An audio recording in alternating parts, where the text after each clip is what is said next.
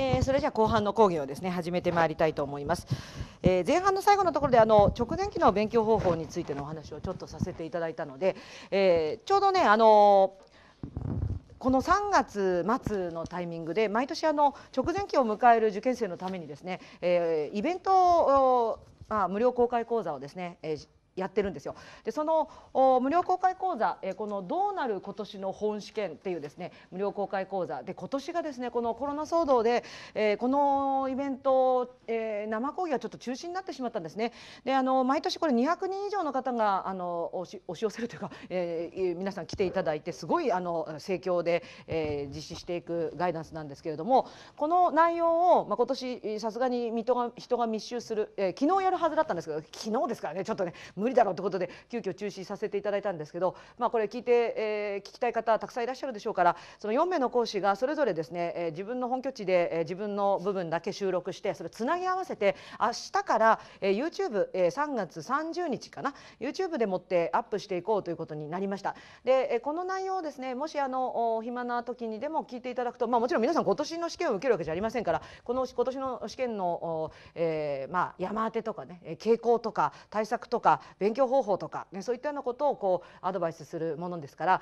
全部が全部皆さんにピンとくるものではないと思います。まだこれから勉強を始めようという皆さん方にとってはちょっと内容として早すぎるものも含まれてますがただ直前期の勉強方法としてのですねあのアドバイスなんかは早めに聞いておいて、えー、青写真だけ作っておくというのはありなのかなと思います。ちょうどどなたでも見られるようになりますので絶対見とけとは言いませんよ。また当然皆さん来年のところでももちろん実施していきますからその来年バージョンのものを見ていただければばいいですから必ずしも強要はいたしませんが、えー、こういったイベントをま直前3ヶ月などにはやっていきますからこういったものによって直前期の勉強方法についてのアドバイスはさせていただきます。でただちょっとその内容をですね一つ私が話そうと思ってた部分をご紹介するんですけど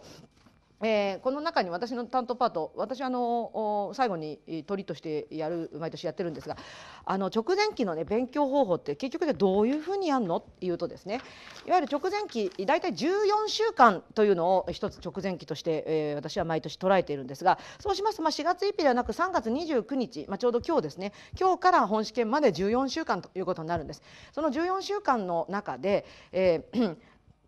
えー、どういうふうな形の勉強をしていくかというとですね例えばちょっとこの、えー、初級生初学初受験生春生ちょっと皆さんたちですよねで皆さん方は来年の4月頭からの勉強というイメージで聞いてほしいんですがこの3月29日をスタートとしてまず6週間6週間で5月10日になります6週間かけて、えー、全科目をまず1回ぐるっと回すんです。でその全科目を1回ぐるっと回す時の時の題材は過去問です。過去問をベースにして全科目を1回ぐるっと回していくと。ね。でそうして、えー、続いて今度は3週間で、えー、5月31日までの間にもう1回2度目の過去問回しを行っていく。で次は今度2週間で3回目。で今度2週間で4回目。でラスト本週間、えー、本試験の1週間前で5回目という具合にこのプランでいくと6 3221でもって、えー、直前4週間で14週間でもって、えー、過去問を5回回せるというようなスケジューリングになっていくんですね。で あのこのようにね少なくともその同じ問題を3回以上回していくことによって、えー、今までは忘れては思い出し、ね、でまた忘れてしまってまた思い出していたっていう論点をこう忘れる前にもう一度同じ問題に戻ってくるというタイミングで回せるようになってくるんです。そうするとですね忘却曲線がこうゼロになるかなと思える時にまた同じ問題に戻ってくるということになればまた100に戻りますよね。でまたこの忘却曲線がこうだんだん下降してきてところがゼロになる前に今度は、えー、また同じ問題に戻るからまたそれれが100に戻りなんてことになるといわゆる長期記憶にすることができるようになる、えー、少なくとも人間同じ問題を3回、ね、あの抜いたり加えたりしないで3回やりきると、えー、一つの、ね、長期記憶になるきっかけがもうつかめて、えー、だいぶ定着してくるというふうに言われていますのででも3回であ心もとないから4回5回と、ね、いうふうな形でその過去問を回していくことによって忘れる前に同じ問題を解くということのね、えー、繰り返しをしていくこれが直前期の勉強方法についてのまあ一つ王道のアドバイスということになるんです。ですから皆さんあの合格体験談なんかを読むときに私は過去問を、えー、あの8回やりましたとかねいうようなことをですねやっぱ書いてる受験生とか合格者とかがいると上8回もやるのかとかっていうことでねやっぱ皆さんもこう引いちゃうんですけどもでも実はその8回のうち5回は直前3か月にやってるというような方が非常に多いんです。えー、ですのでその何回やったっていうねあの記述についてはそのいつのタイミングで何回やったのかということを注意深く読んでいただくかでまたはそのそういったまあ情報を書かずに単に何回やりましたよっていう体験談っていうものも少なくないのであまりこう一喜一憂なさらずにねやっぱり8回やんなきゃダメなんだってその8回というのが刷り込まれて、えー、でも自分はまだ1回2回しかやってないから到底合格レベルじゃないとかってねそことの回数の、えー、差に落ち込むというんじゃなくて実際にはほとんどの方が直前3か月のところで集中的に5回6回と回してる。私は6回やりました。6回同じ問題やるともう後ろの解説まで一言一句頭に入る。もう問題解いてるうちから後ろのページの解説の表現まで全部頭に入っていくようなね、えー、状態になって。もうそうなってきたらもう怖くないんです。本試験、えー、どうぞ受けてやろうじゃないかぐらいのつもりでねやっぱ当日臨みましたので、まあ、非常に自信を持って、えー、臨むことができましたから、まあ、皆さんもそういうふうな時期に絶対なりますので、えー、今はねあまりそう過去問をやる回数などということにそこまでこう情報に振り回されずにいてほしいなと思います。そしてだからだからこそ一度しっかり頭に覚えればその後忘れてしまっても大丈夫ですからね、えー、直前期にはいくらでも思い出せるのでそういったアドバイスも含めてさせていただこうと思っております。さあそれではじゃあの直前期のねあの直前期じゃないよあの今まで、え、前半を通じてお話をしてきた内容えー、こういったあの試験の特性、えー、ないしは傾向を踏まえてですねあのぜひ立ち向かうべき敵とですね、えー、真正面から、ね、立ち向かっていっていただきたい。私も本当によく覚えてます。私はあの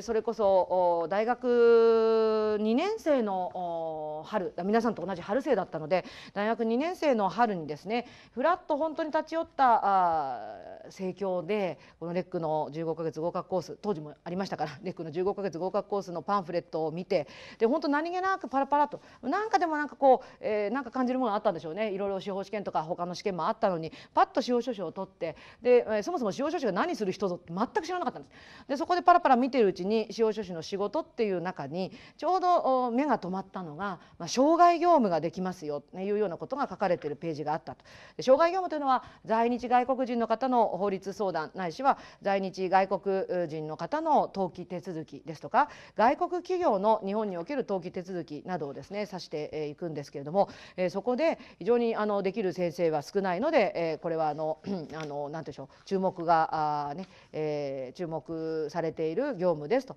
まあ、6ページのところに障害業務についてはちょっと書いてありますからテキストですよ。あ後で興味興味ある方はご覧になっていってほしいんですがその時にピンときたんです。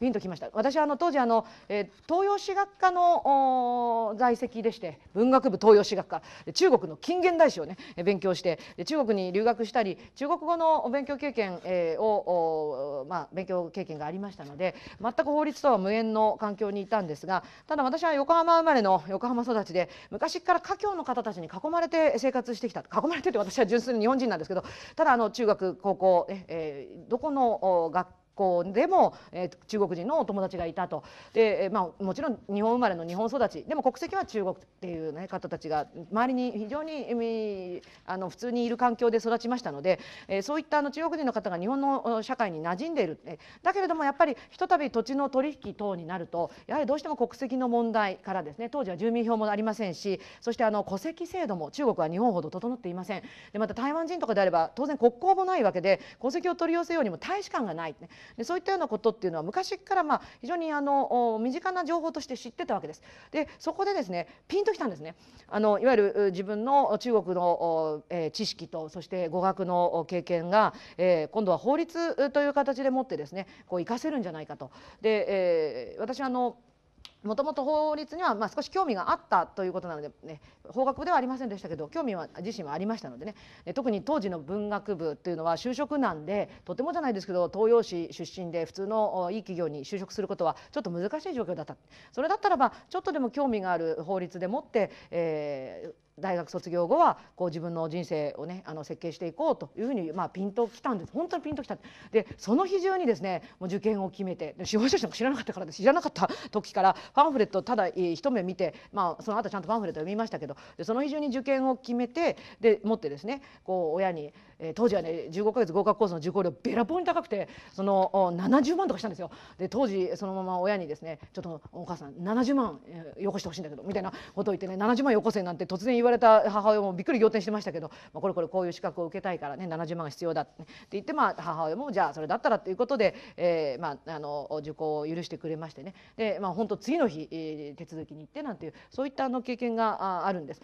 で本当にその時のことをねいまだにこうやっぱあの思い出します。でと言いますのもよくあの時そういう判断をしたとだまあ、当時の自分にだからもし私が今会えるんだったらお前でかしたって言ってあげたい本当よくあの時にその全く司法書士の死の字も知らなかったのにそのただパンフレット一つで受験を決めてそしてもうがむしゃらに勉強して私はその後1回目大学3年生の時に受かりましたけどもでそうやって今この司法書士としての自分がここにあるっていうことで、ね、本当にもう今私は司法書士としての自分の人生すごく満足してるんです。でまあこうやって皆さんに、えー、受験、えー、指導という形で関われるのもまた満足してますし司法書士としてお客さんにですね非常にあの喜んでいただけるのも本当にまあ嬉しくてしょうがない。本当天職だと思ってます。でそれをねたったあの一瞬の出来事で決められた当時の自分を本当に褒めてあげたい と思ってましてで非常にそれはね私自身非常に誇りであるんですけれどもまあただあのそういう選択ってなかなかねあの人生の中の選択ってなかなかそう何回もあるわけじゃありませんので、えー、もちろん私いろんな失敗を選択して失敗したことも、えー、え多々ありますよ。ありますけれどもそのあの選択だけは成功だったと思ってます。だから皆さんもねそういうふうに思っていただけるように、えー、ぜひですねあのそれに、えー、私がお手伝いをしていこうと思ってますのでぜひあの皆さんも頑張っていってほしいと、ね、で こんな話をしてると時にああこれも話さなきゃなと思うのがこの間ですね、えー、今年の夏かうちの娘が、えー、娘今高校3年生になるんですけど お母さんね60万よこしてください。ね。で今当時と違うのはあの LINE で来るんですよね。お母さん60万よこせってね。60万よこせって。でもうななんで60万もいるんだってなんでって言ったら留学決めてきたからってね。留学決めてきたからね。行きたいからじゃなくて留学決めてきた。もう手続きもしてきた。あとはここに振り込んでほしいって。ああもう血は争えないんだけどもあの、えー、60万よこせってね、まあ、当時と違うのは、えー、面と向かって言われるんじゃなくて LINE で言われるという、ね、で味を占めてしまった娘はその後も20万よこせとかねなんとか海外プロジェクトに行くから、えー、10万必要なんだけどみたいな。でも最近ではあの、えー、まあツイッターでこの間は失笑皆さんの失笑を買いましたけどあの何でしたっけ、えー、魚屋さん？魚屋さんで唐揚げにするサワガニが売ってたんですね。えかさあの中中中国の方がたくさんいらっしゃる私の私桜木町に住んでるんで桜木町であの魚屋さんにね生きたサワガニが売ってるんですよ。中国の方ってそれをそのまま唐揚げにして本当美味しいんですけど唐揚げにして食べる、えっていうのねあの料理のああるので、えー、どこの魚屋にもあるとは言いませんけど私のうちの近くの近所の魚屋さんにはいつもサワガニが売ってるんで、ね、でサワガニ買ってきたってね。でサワガニを買いたいんだね。で買いたいからあの水槽を買う、ね、水槽を買うから5,000円よこせってね。いやだって1匹100万円のサワガニ買ってきて5,000円の水槽それないだろうと思ったんですけどまあちょっとねあんまり家におらず子育てしてない弱みがあるもんで5,000円のね、えー、あの あの水槽をね買う羽目になりまして。そしたらあれですよ。次の日あの2匹とも逃げるというね。もうあのもうどどこ行っちゃったのかどっかで唐揚げになってる唐揚げというかどっかで干からびてあのかっぱえびせになってると思うんですけれどももうあのそんなこんなであ血を争えないなと思ってはいるんですが、まあ、そんな話はしてもしょうがないですね。じゃああのちょっとですね前半言いそびれたことを一つだけ追加しておきたいと思います。そのね基準点を言いそびれたんです基準点、うん、結局基準点ってどれぐらいの点数なのっていうのをちょっとごめんなさい。言いそびれましたので前半の続きなんで申し訳ないんですがちょっと急いで話しちゃいますね。でこれですね基準点、えー、どこかそうだな。さっきのページの方がいいか。さっきのページだと司法書士試験のあと10ページの近くにでも書いておいていただくといいんですが基準点いわゆる足切り点なんですがえー、基準点ですね。で午前の択一、えー、午前の択一は例年35問中25から一番高くて30というような点数になります。えー、25点から30点、ねまあ、1問3点で計算するので実際の点数はかける3になりますが、えー、問題数にすると25問から30問。昨昨年、えー、まあいいや、まあ、一旦書こう。一旦書きましょう。で午後午後については午後についてはやはり科目数が多いのでえ午前よりかはあ午前よりかは下がりまして22から28ということになります。で、えー、記述に関しましては70点満点のうち30から40というのが、えー、基準点になっていきます。で、えー、平成31年まあ、令和元年昨年ですねについて言いますとこれ35問中の25問でかける3点で75点これが基準点になります。で昨年午後については35問中の 22×3 で66前回は午後がめちゃくちゃ難しかった本当悲鳴が上がるほど難しかったので史上最低点になりました。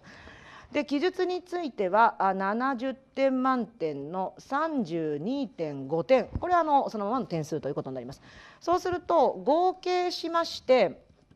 ね、合計して基準点の合計は756632.5なので173.5というのが基準点の合計点だから全部基準点突破すると173.5点ということになるんです。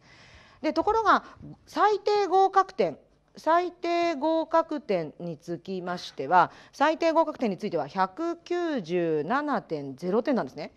最低合格点197.0点なんです。ということは引く基準点の合計点の173.5を引くと23.5点、ね、23.5点上乗せしないと合格できないね。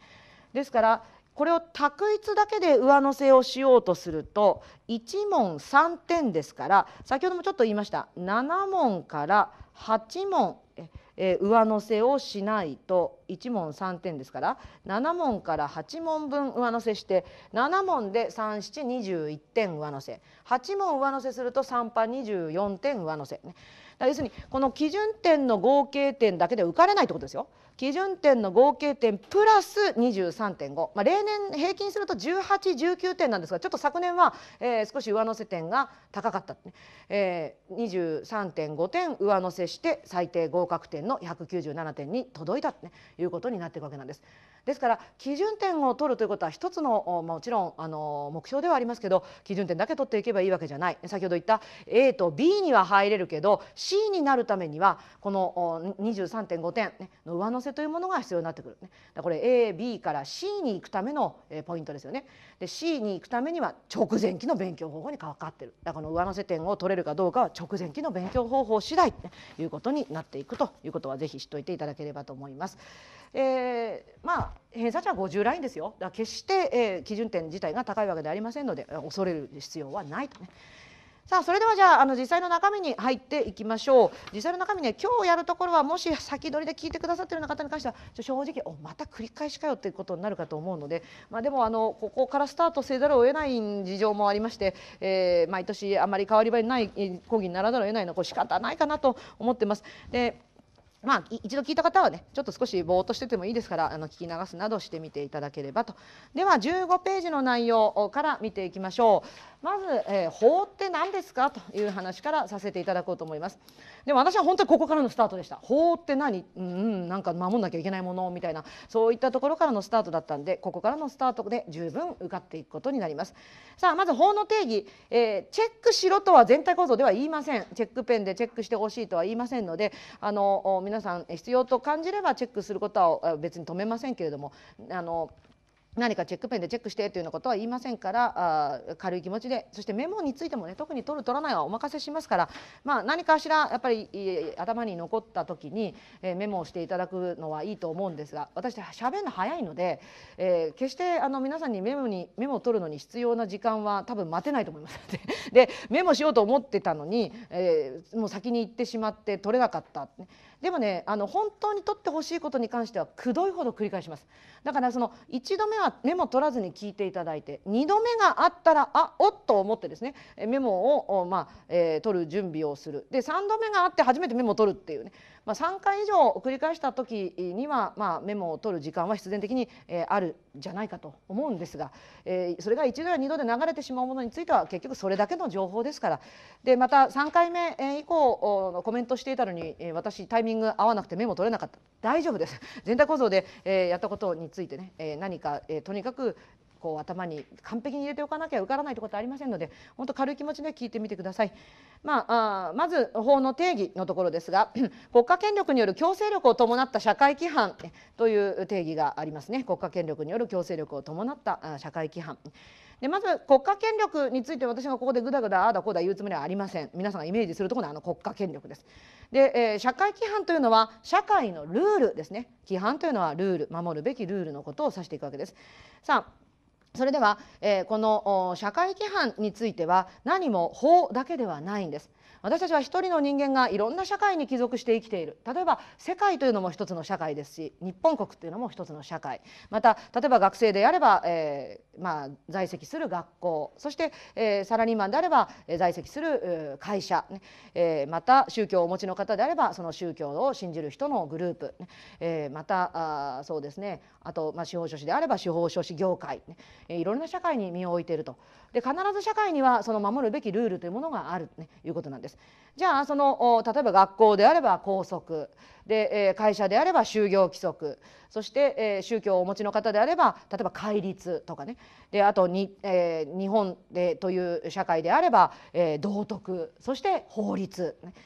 でこういったの社会には必ず社会規範がある。じゃあその道徳や校則や、え就業規則や戒律、ね、と、えー法律法との関係というのは、えー、違いというのはどこにあるのかというのをまとめたのが図表のところなんです。え、実はこれ守らなかった場合に課されるペナルティ制裁ですね。そこに違いが出てくるということなんです。まず、えー、2つ守らなかった場合に課されるペナルティがあるうちの2つ目のところここですね、えー、事実上の制裁を受けうる、ね、という、えー、社会的評価を下落させ集団から追放されるなど、ねでこの事実上の制裁を受けるというペナルティが課されるのは法であろうが道徳、まあ、戒律であろうが校則そして就業規則であろうが皆共通だと、え、これ道徳からも矢印が出て、えー、道あ法からも矢印が出て道徳などからも矢印が出てるつまりこの事実上の制裁を受けうるというのは、え、両者、え、共通だということなんです。で事実上の制裁というのは例えば法を守らなければ周囲に白い目で見られる。例えば、えー、校則を守らなければ先生からの評価が下がる就業規則を守らなければ同上司からの評価が下がる。でまた例えば村のルール村という一つの社会における社会規範を守らなければ、えー、村八部とかいう、ね、集団から追放されるまたあの戒律を守らなくて破門される、などというのがこの事実上の制裁にあたります。これは法でも同じことなんですね。ところが法を守らなかった場合には、それにプラスして国家の強制力の行使を受けてしまうというですね、えー、制裁を受けることがあるというのが特徴ということになります。例えば、えー、人のものを盗んではならない。刑法に、まあ、その通りの表現ではありませんが人のものを盗んではならないに匹敵する条文というのはあるわけです。ところが人のものを盗んでしまえばそれは警察によって身柄を拘束され場合によっては刑務所に送られ自由を奪われてしまう。つまり警察によって、えー、自分の自由を奪われるというですね強制力の行使を受けうるそしてもちろん盗んだものは警察の、まあ、仲介を経てですね被害者に返されると、ね、いうことももちろん予定されています。また例えば、えー、人から借りた金を返さない。えー、これはもう民法で人からお金を借りたら返さなきゃいけませんよ、まあ、そういう表現は使ってませんけど、まあ、それに相当する条文というのがあるわけで。でも人から借りたお金を返さなければやはり国家の強制力を受けそして強制的に、えー、お金を返したのと同じ状態があ出現同じ状態を、ねえー、国家が、えー、実現していくということが予定されているわけなんです。でこれはあの道徳を守らなかったらいきなり警察が来てですよ。その身柄拘束して。で例えば老人に、電車の中で車をあ老人に電車の中で座席を譲らなかった、ね、次の駅でいきなり警察乗ってきて、えー、いきなり身柄拘束されて席を譲らさせられてしまうなんてことはないわけで。そこがいわゆる法とはその他の社会規範との違いと守らなかった時に国家権力による強制力を行使受けてしまうかそしてその守らない状態が、えー、是正されていくことになるのかそこが違ってくるということなんです。じゃちょっと先ほども言ったんですが16ページご覧になっていただいて16ページのところにですねその借りたお金を返さない場合に一体どういう形で国家権力が出てくるのかという図表が出てきております。図表まず債権者 X さん。これ借りたお金あごめんなさいお金を貸した人のことですね。貸主さんにあたる人です。で債権者債務者についてはまた次回詳しくやりますので今は貸主と、え、理解してください。そしてお金を借りたのが Y さん、え、借り主さんです。債務者と呼んでいきます。で1000万円のお金を貸しましたと。で、えー、ところがあ Y さんが借りたお金を返さない。つまり法という社会規範を守っていない状態が出現したわけです。でこの場合 Y さんの社会的評価が下がる、ね、という事実上の制裁を受けるのはもちろんのこと。それにとどまらず国家の強制力の行使を受けてしまう。どういうことかというとこの時 X さんはえー、Y を相手取って、えー、裁判所にお金を返せという訴訟を起こしていくことになります。訴え提起で訴訟を起こしますと X 原告 Y 被告となるんですが裁判が開かれまして裁判の結果本当に X が Y にお金を貸したのか Y は本当に返してないのかが審理された結果裁判官が、うん、確かに X の言う通りだという心証形成しますと Y は X に1000万円支払えという判決が言い渡されていくことになります。でこの判決が確定約2週間経って覆すことができなくなる状態を言うんですが判決が確定しますと X さんは続いて丸4裁判所に対して、えー、Y の財産のいずれかを強制的に売っ払ってお金に換える、えー、競売の申し立てというものをすることができるようになるんです。でこれはあの Y の財産いずれかを X が選択します。で今回 Y の財産には土地があった。このひし形は土地だと思ってください。土地があったことからこの土地をターゲットに競売の申し立てをする。正確には不動産強制競売と呼んでいきます、えー、ここちょっと書いていくと競売の申し立てこれ正確には不動産強制競売というんですが不動産の強制競売の強制強制競売の申し立てっていうのを行っていくことになるんですね。不動産強制競売申し立て。でターゲットが不動産である、えー、不動産強制競売の申し立て。でもちろんターゲットを動産えー、土地や建物などの不動産ではなく、えー、貴金属などの動産をターゲットにすることもできるのですが、まあ、今回は X さんは Y の不動産をターゲットにした、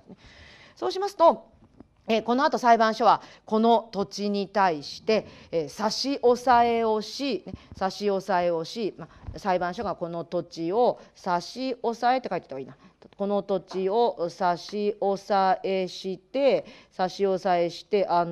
強制競売強制的に競売にかける、ね、え当該土地を差し押さえて、え強制的に競売。あちなみに競売というふうに読む方もいらっしゃるんですがドラマなんかでは競売とかって言ってますよね。でもこれは我々のあの法律用語では競売。これが正しい言い方です。でねこれあのよくまあ、どの業界にもいろんな業界用語っていうのはあると思うんですがその一つでして例えば遺言っていうのも一般の方は遺言って言いますが法律用語では遺言なんですね。で、えー、競売じゃなくて競売となります。こういったのもちょっとぜひあの皆さんね、えー、知っておいていただくとお、ま、まだ業界っぽいですよね。あの法律勉強してるなんか感覚が出てくるんじゃないかと思うんですがドラマなんかでもねそのすごい臨場感たっぷりのドラマとかでところがなんか競売とかって出演者が言ってるとガクってきちゃいますよ。そこは競売って言ってほしかったなとかいうようなことでね。せっかく今までのあの臨場感たっぷりの演技がなんか台無しになっちゃうような。でもそういう感覚ってやっぱり同業じゃないとわからない、ね。えー、ああそこは競売って言ってほしかったなとかそこは遺言って言ってよとかとかそう私の一人ツッコミとかよくするんですけど私の旦那もあの同じ、まあ、法律関係者、まあ、弁護士なので、えー、2人してね「ああ」とか そこは競売だそこは競売って言わなきゃ台無しだよとかっていうようなことをよく言ったりなんかしてるんですけどまあまあそれはねあのともかくとして、皆さんはこれから競売とぜひお読みください。で、えー、競売というのはイメージするとこの要するに一番高い値段をつけた人が落札する。具体的には入札手続きによって一番高い値段をつけた人が落札するでこれ Y さんが泣こうがわめこうが絶対土地売れない売りたくない、ね、と言ったところで止められません裁判所が主導して、え強制的に入札にかけ一番高い値段をつけた人に落札させてしまうそしてそのお金を裁判所が受け取りでその受け取ったお金の中から X さんに未回収の1,000万円を配当するとでこれによって X さんは、えー、法が守られていない状態を、えー、国家権力の力を借りて是正できたということになっていくんですね。でこれがいわゆる国家権力による強制力の行使を受けてしまうということのイメージだと思ってみてください。さあ国家権力による、えー、強制力の行使を受ける、ね。えー、そして、えー、それによって法が守られない状態が是正されていくというですね。状況はこういう状況を指していく。これは、えー、拘束や就業規則、ね、それから、えー、道徳などの他の社会規範を守らなかった時には起こりえない、ね。えー、制裁なんだということになります。さあそれがあ社会規範の中で法とその他の社会規範の区別だということなんです。さあでは15ページから16ページにわたる文章については、えー、読む読まない、えー、読む読まないはお任せいたします。読んでも読まなくてもどちらでも構いません。ただ16ページの2番法の強制と自力救済の禁止については、えー見ていきたいと思います。特にチェック等はしなくて結構ですよ、えー、法の実効性が国家の強制力によって確保されるということは法に定められた内容を最終的に実現するには必ず国家の強制力によらなければならないということを意味します。例えば犯罪の被害者やその遺族が犯人に対して復讐をしたり借金を返さない債務者の家に貸主が押しかけて力ずくで金を取り立てたりすることは許されませんと。このように詩人が詩人というのは我々一般人のことですね。国家の力を借りずに自分の権利を実現することを自力救済とか自給行為と言います。自分の力で自分を救済。で近代の国家は社会秩序を維持するために一方において強制力を国家から、えー、強制力を個人から取り上げて自力救済を禁止するとともに他方において国家が独占した強制力を後ろ盾とする、えー、法を整備しています。つまり法律の強制と自力救済の禁止は表裏一体の関係にあるのです。つまり自分で、えー、自分の力で自分を救済することはできない。法が守られない状態を自分で、えー、あの打開することは許さず法が守られないんだったら国家の強制力の力を借りなさいと、え自分で自分の状況を打開しようとすることは禁止だよ、ね、だその代わりに国家を頼ってくれと。そうしたら法が守られない状態を是正してあげるから、ね。そういった関係になっているということです。さあそれでは17ページなんですがこのページは特に読む必要ありませんので、えー、読まなくて結構です。でも私が読まなくていいって言ったら本当に読まなくて結構ですか。ら読,、ま、読んでしまった分だけ時間の無駄だということだと思ってください。では続いて、え今度は18ページ。法の基礎知識。でですねあの先ほどちょっとだけ私も口走ったんですけど法律と法っていうのは実は厳密に言うと違ってきます、え、法律と法ここ法の基礎知識となってるんですがちょっとその、えー、両者の区別をお話ししていくとこのページに書けばいいと思いますよ。18ページなんですが法というのは正確に言うと法令っていうんですよ。で法令の方が大きくて法の中に法律があるというイメージを持っていただきたいんです。えー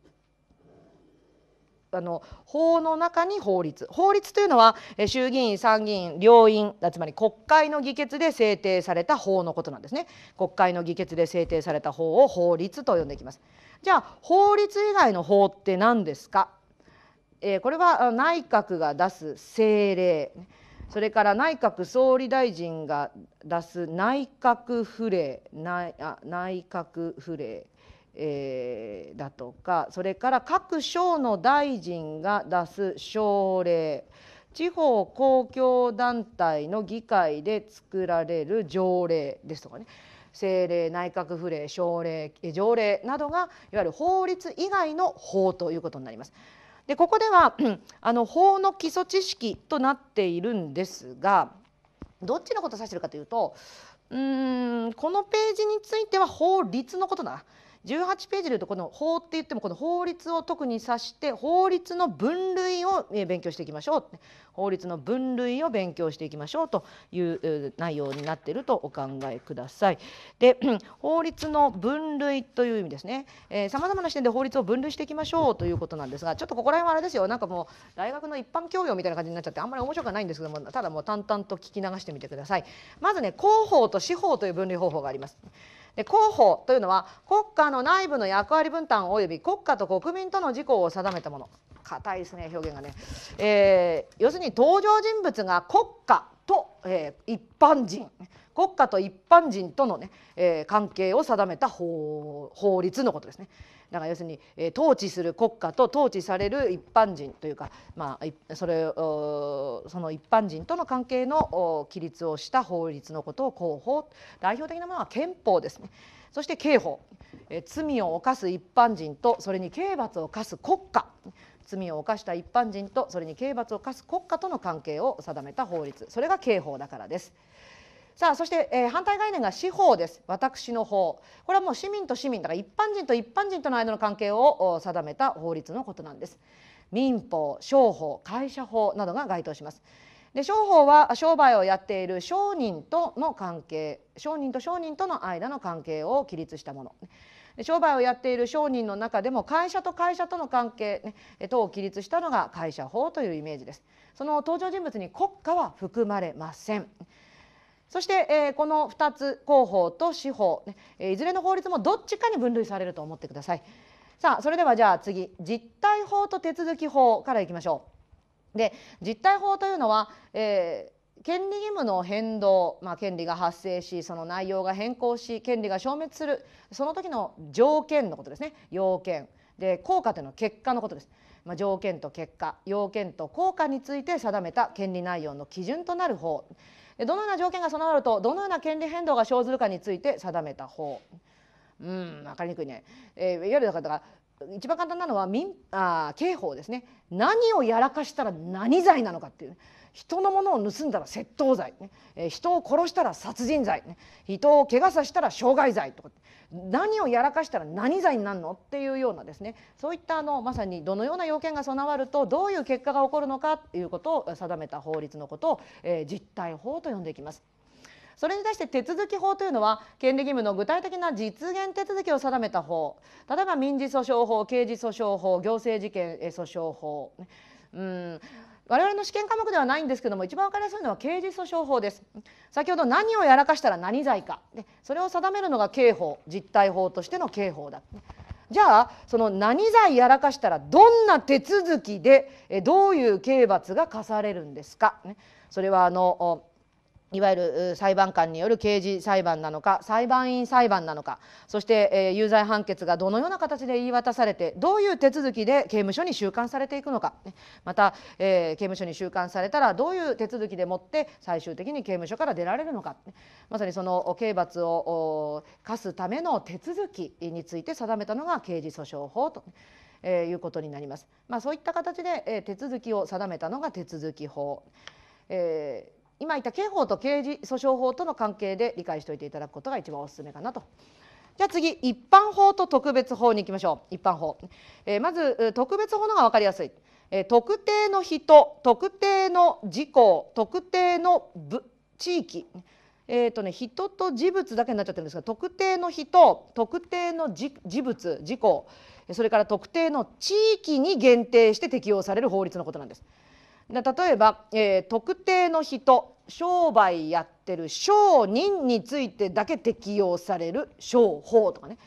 あとは特定の事故、ね、犯罪は犯罪でも軽い犯罪軽犯罪についてだけ適用される軽犯罪法だとか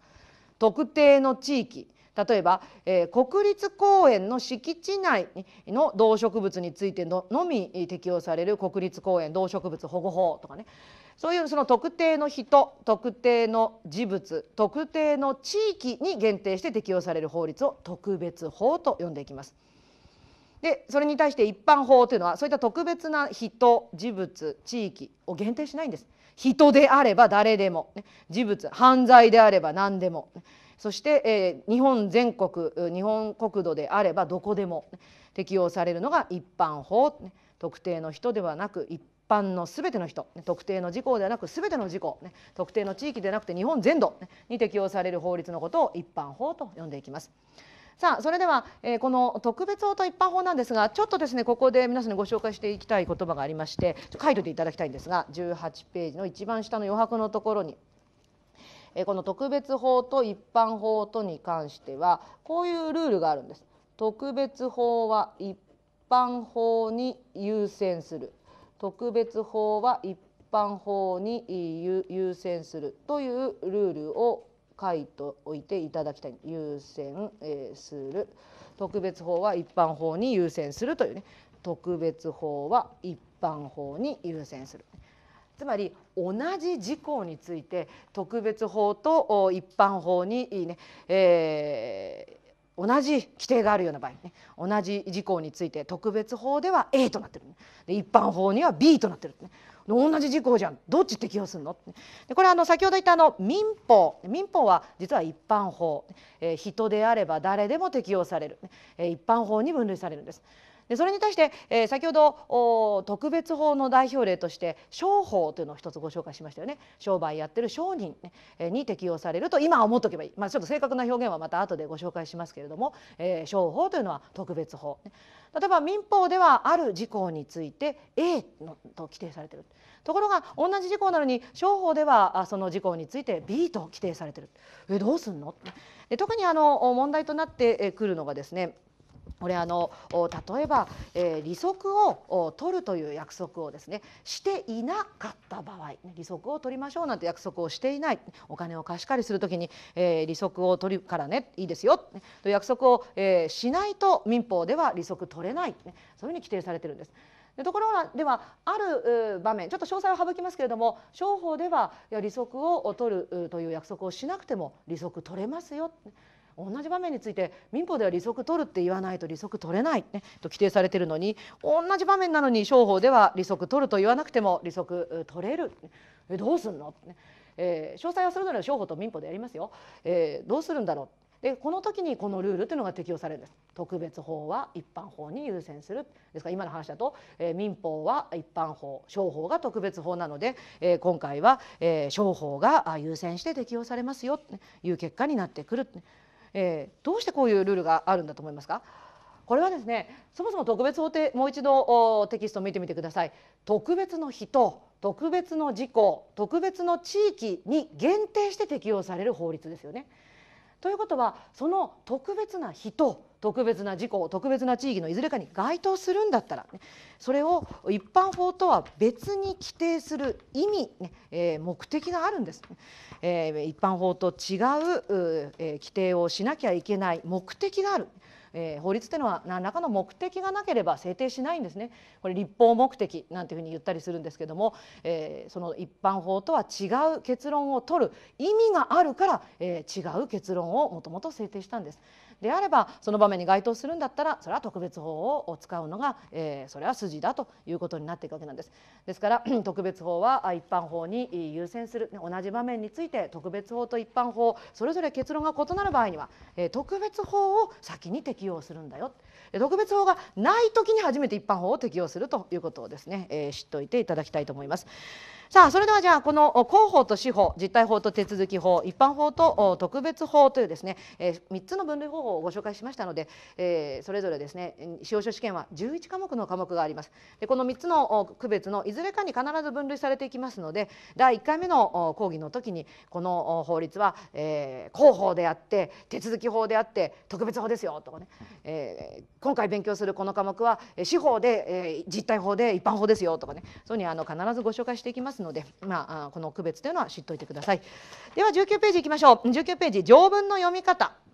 条文の読み方なんですけれども、えー、条文、えー、これから皆さん慣れ親しんでいくただね、まあ、あの司法書士試験のこういうこう予備校がなかった当時はね受験生は皆さん条文から独学で勉強して試験を受けていたようなんですが今やもはやこういうテキストの中に必要な条文は書かれてますから、条文をえー、通読して、勉強するというようなあの勉強方法は、えー、直前期にはありうるんですけれども、まあ、日々の勉強の中では通読ということまでは私はお勧めしてません。まあえー、今日学習した条文をその都度都度見るというのはもちろん必要なんですけどその条文をねこうあのなんて言うんでしょう丸暗記するほど読み込むというような勉強は日々の勉強の中ではさほどいりませんのでそして条文番号を覚えるということもあまり意味がありません。結果的に条文番号を覚えることはあっても条文番号を答えよという問題は出ませんのでねそこは安心してください。さあそれではじゃあ条文どういう構成になっているか見ていきましょう。まず条文は上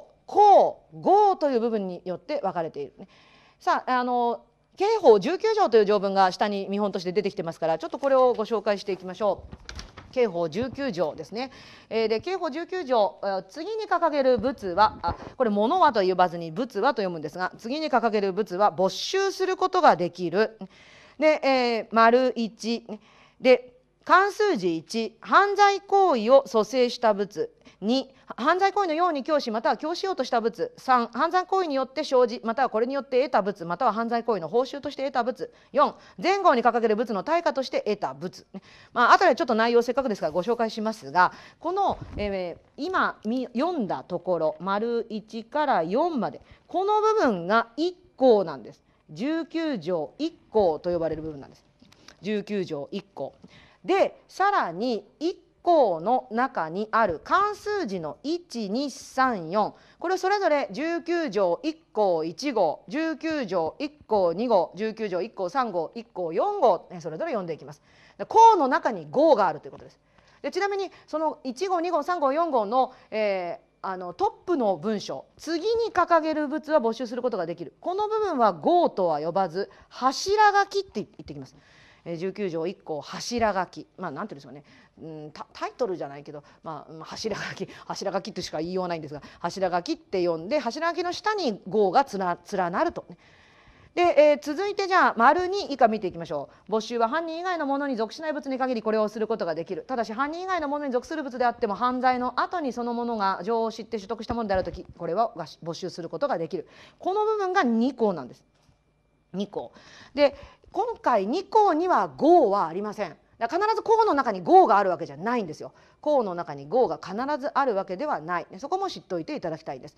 さあそれではじゃあこのように上の中に項があり項の中に号があることがある。で、えー、そこで、えー、さらに紐解いていきますとあ説明せっかくだから説明しましょうか。19条1項の1号ね、えー、そもそも没収っていうのはお上に没収されるってことですよ。犯罪を犯した時に、えー、ここに該当するものは裁判によって没収されちゃう。だから国に取られちゃうよ。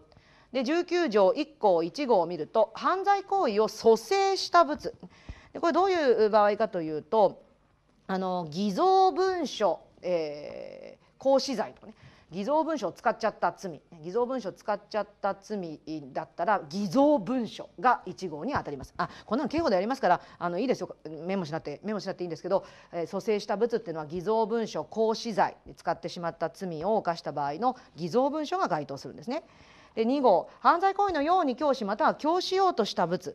でこれはあの文書偽造罪で、えー、使った偽造の印鑑などが該当します。えー、犯罪行為のように教師した物ね、えー、偽造の印鑑ね。で、えー、あとそれから3号犯罪行為によって生じもしくはこれによって得た物または犯罪行為の報酬として得た物、ね、でこれ報酬として得た物が一番分かりやすい、ね、いわゆる殺人の嘱託を受けてもらった報酬とかですよ。そういったものは、えー、殺人の有罪判決の時にそのもらった報酬は没収できるよって言ってるんです。で4前後に掲げる物の対価として得た物、えー、前後だからその報酬で買った宝石とかね。前後ですよ。だから3号だけを指すんですよ、えー、報酬で買った宝石とかっていうのを没収できると、ね、つまり犯人の手元に犯罪の、ねえー、材料だとか犯罪に使った物だとか犯罪で得た報酬またはそれによって買ったものを手元に残しておきたくない、ね、だからお上が取り上げんだよっていう話なんです。で2個を見ていくと没収は犯人以外のものに属しない物に限りこれをすることができる。こういう表現ねあの法律大好きなんです。属しない物に限りこれをすることができる。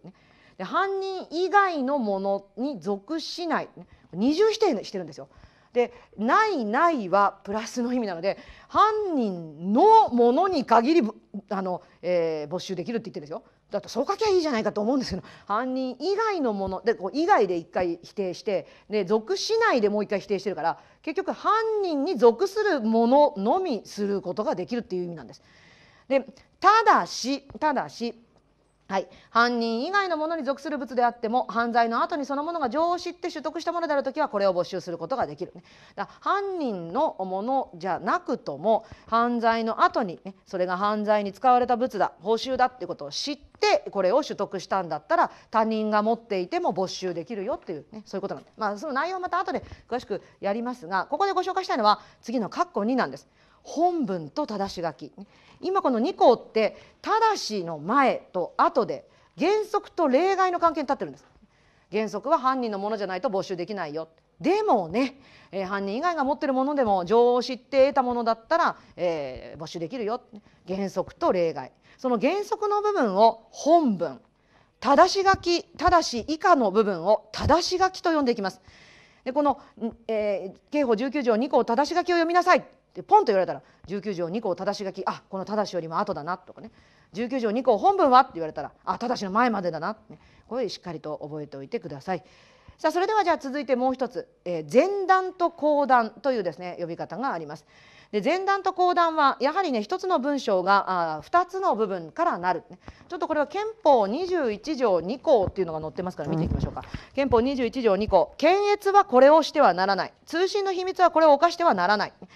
このように2項は2つの文章からなる。だけれども2つ目の文章の頭に「ただし」という言葉がつかないんです。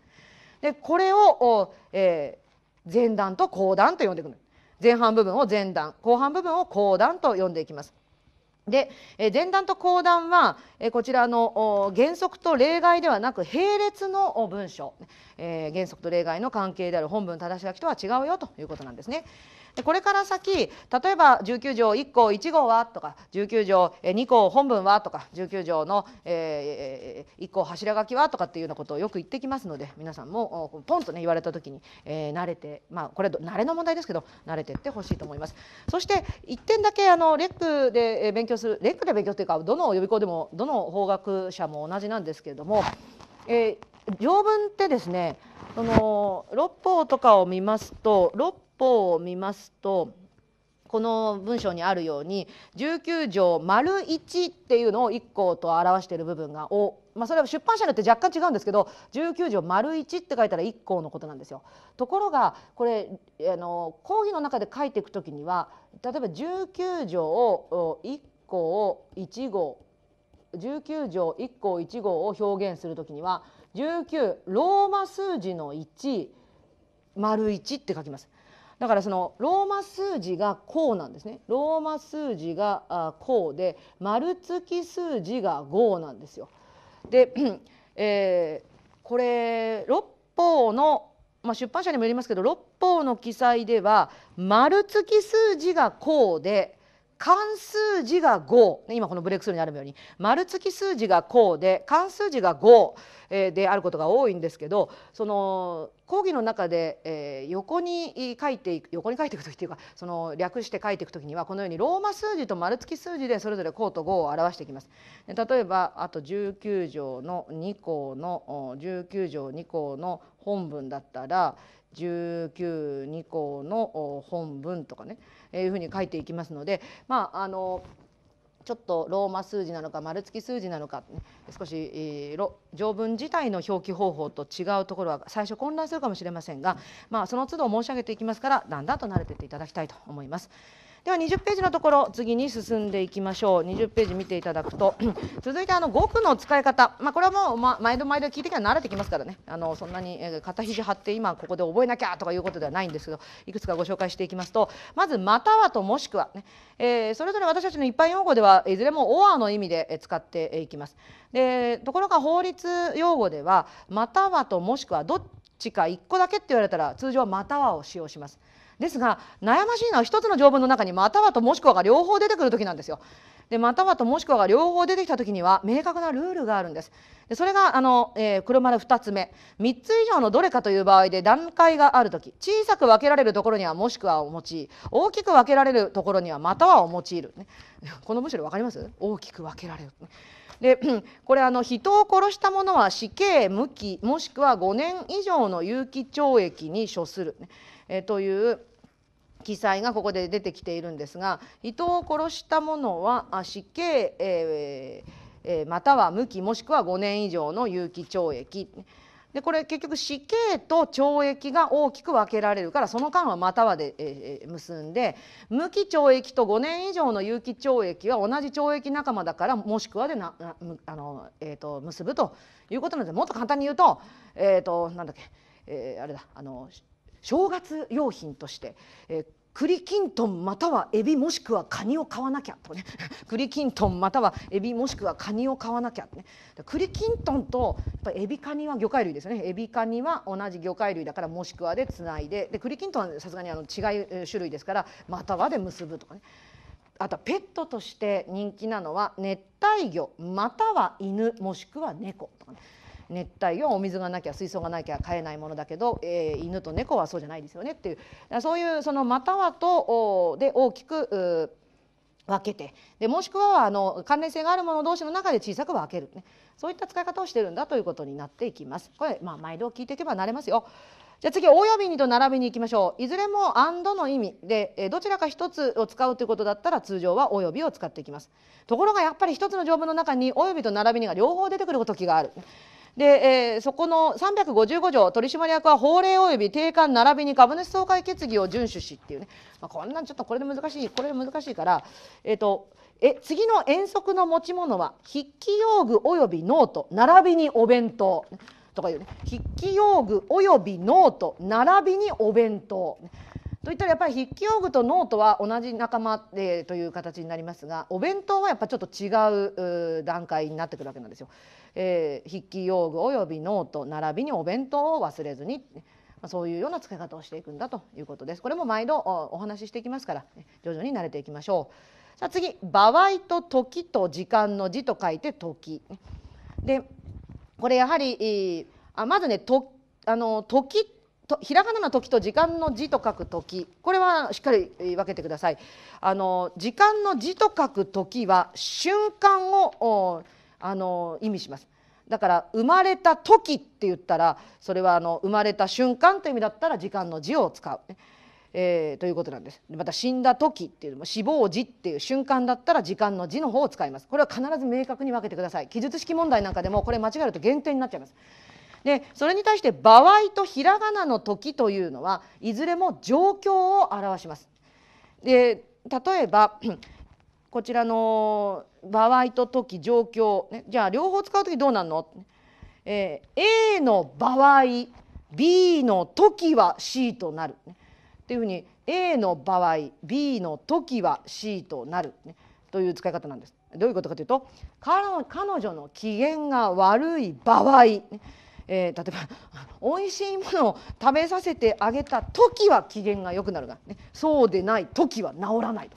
彼女の機嫌が悪い場合、ねえー、欲しいものを買ってあげた時は機嫌が良くなるがそうでない時は、ね、機嫌悪いままとか。ね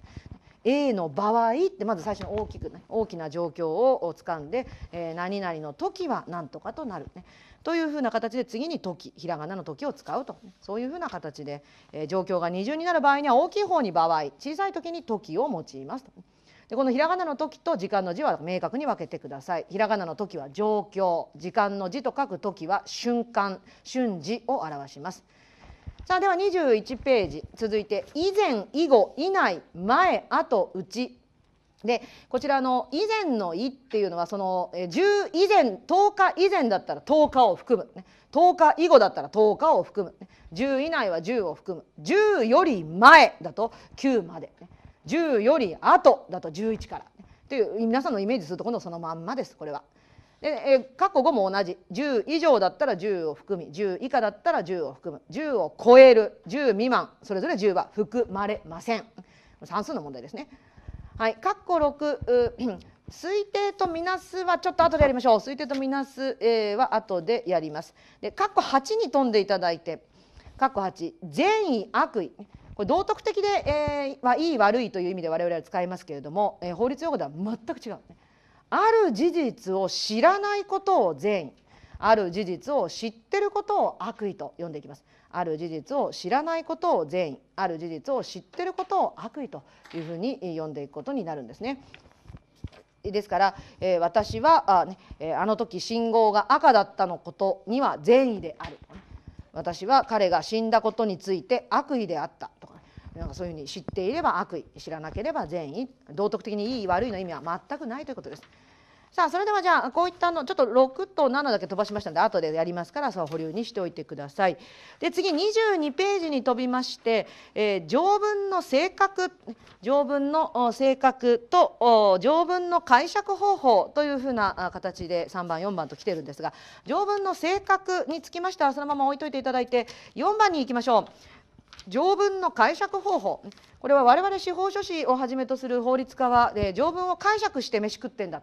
法律の解釈で飯食ってるとかってよく言うんですよ。で、まあ、ちょっと言い方はあれですけどあの乱暴ですけど。でじゃあ法律の解釈って一体何なの？正面から言われると、うん、法律の解釈って何なんだろうって、ねえー、それがちょっとよくわからないという方もいらっしゃるでしょう。そこをちょっとご紹介しようと思ってこのお話をさせていただきます。さあそれではじゃあちょっとこの条文の解釈についてはノートの3ページを見てみてください。ノートの3ページね。ノートの3ページ。講義ノートの3ページです。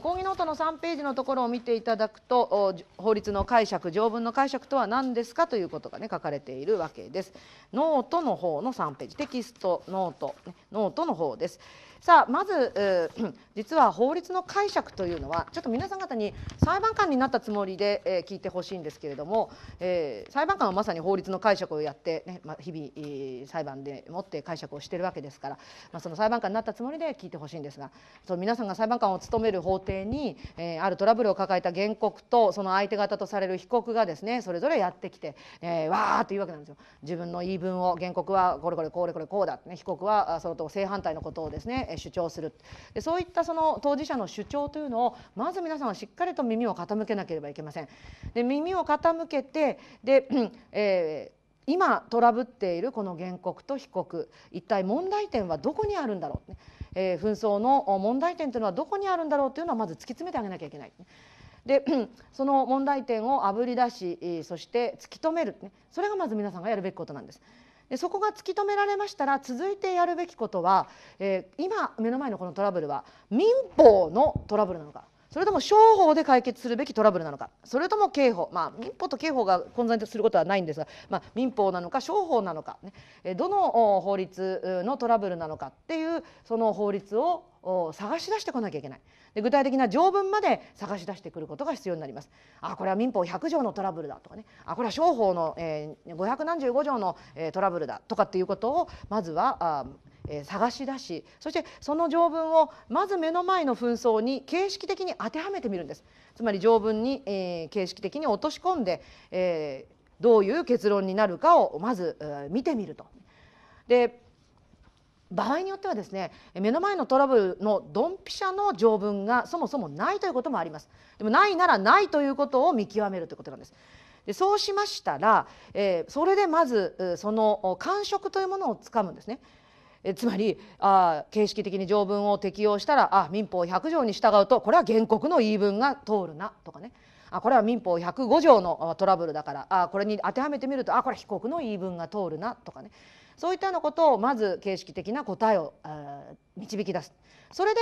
いいんじゃない？それでって思えたのであればそのまま判決を言い渡せばいいです。そのままいや民法100条によると原告の言い分のね、えー、通りである、ね、とか、えー、今回は原告の請求を棄却する。原告の請求棄却っていうのは原告の負けである、ね、なぜならば民法105条では原告の言い分は通らないからだ、ね、とかなんとか言い渡せばいいと。でも実は多くの場面においてですねそれでは不適切であるという価値判断をすることが出てきます。つまり民法100条では原告の言い分通りとなっているんだけどどうも腑に落ちない、えー、被告の方を勝たせるべきなんじゃないか原告よりも被告を勝たせるべきなんじゃないかというような価値判断がされた時どうするべきでしょうか実はその価値判断こそが言い渡すべき答えなんですよ。つまりですね、えー、この価値判断をしたということはもうその通りの結論を言い渡すべきとつまり被告を勝たせるべきだって価値判断したんだったら被告の勝ちですという判決を下すべきなんです。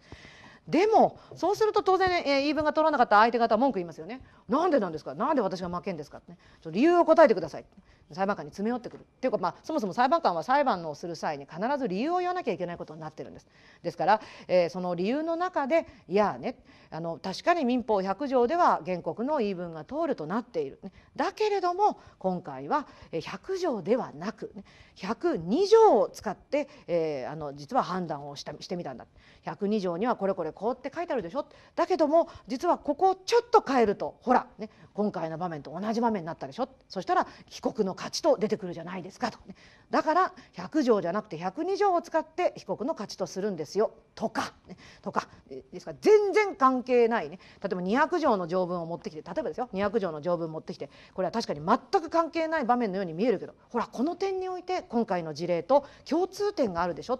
共通点があるから200条を使って答ええを出すとほら被告の勝ちと導き出せるでしょというような具合にですね他の法律を持ってきてそれをあっちを特会引っかえこっちを変え、ねえー、あのいわゆる微調整していくんですよ微調整して最初に導いた価値判断通りの結論に持っていくように再構成していくと、えー、それが実は法律の解釈と呼ばれる方法なんです。だからまずですねあの法律の解釈っていうのは価値判断ありきなのね。価値判断を下した瞬間に答えは出ている。あとはそれをどう他の法律を使って説得的に、えー、法律を再構成して、えー、説明するかどうか、ね、その再構成して説明する作業こそが法律の解釈なんだと。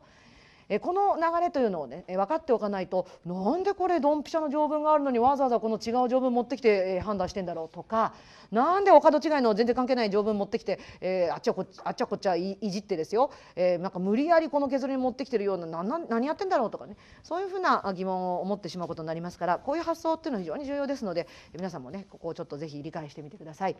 でこの法律の解釈を皆さんもできるようにならなきゃいけない。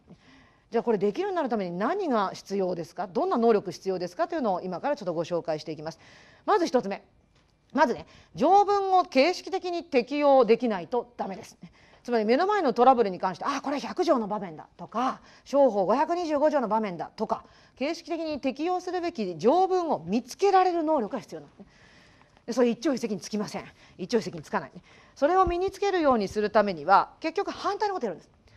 1条ずつ、えー、まあまあ実際には1条から勉強するわけじゃないんですけど1条ずつこの条文はこんな場面のことを規定してる、ね、で次の条文はこんな A さんと B さんがトラブってる場面のことを規定してる、ね、で次の条文はあ一転して、えー、こういう場面のことを規定してる、ね、その条文がそれぞれ想定する場面を丁寧に丁寧に勉強していくと今度は具体的なトラブルを見た時に反対に適用する条文が見つけられるようになります。ですから、まあ、日々ねあの条文がカバーしている場面というのをしっかりと学んでいくようにしましょう。ですからあのよくね法律の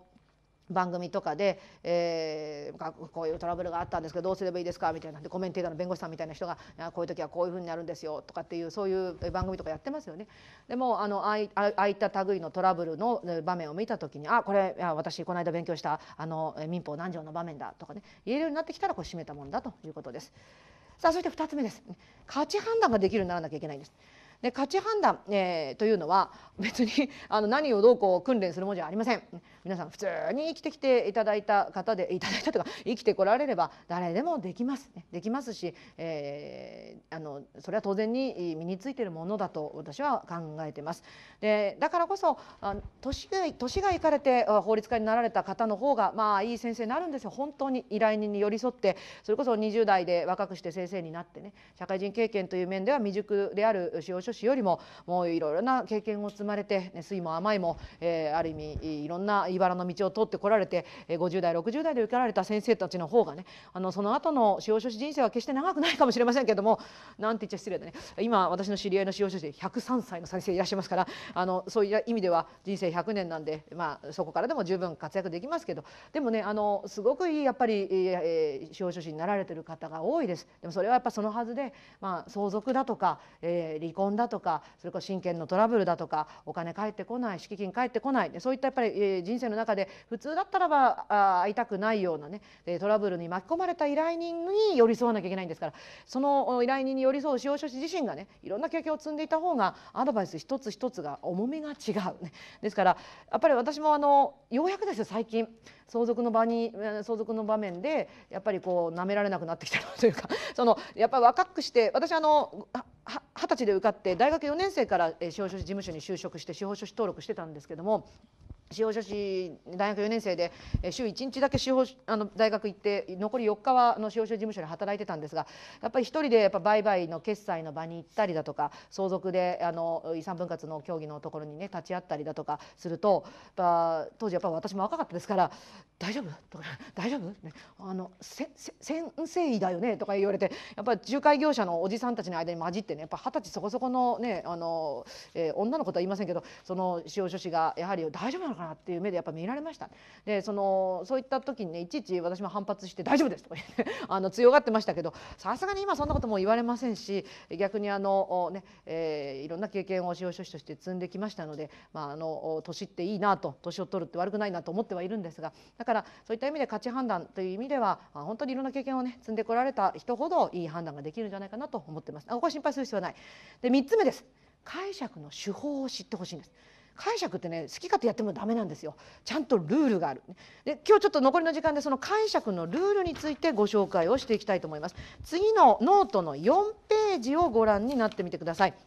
ノートの4ページ。解釈にはいろいろな手法ルールというのがあるんですね。でそれを今回5つほどご紹介していきます。はい、まずですね店員の身なりについて以下のような規則があるレストランがあったとしましょう。でまああ規則を、まあ、条文に見立てております。で以下のような争いトラブルが発生してしまった。で皆さんが責任者だったと思ってください。で責任者がそれぞれ1から5までのような価値判断を下した。じゃあ責任者はこの自ら下した結論を、えー、トラブっている従業員に説明しなきゃいけないんです。で説明員、説明して説得していかなきゃいけない、